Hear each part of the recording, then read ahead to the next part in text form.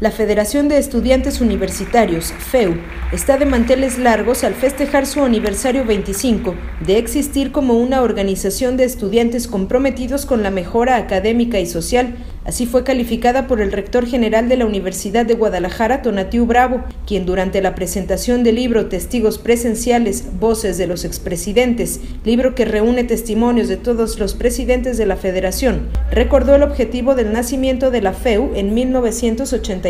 como el instrumento de cambio en la manera de hacer política estudiantil con responsabilidad y compromiso. Durante la conmemoración del aniversario de la FEU, el actual presidente Alberto Galarza entregó las constancias a los siete aspirantes a dirigir durante los próximos tres años este organismo y aseguró que esta será una competición ardua por la cantidad de los aspirantes inscritos, pero que no dará cabida a ninguna expresión de violencia o desacreditación de los participantes.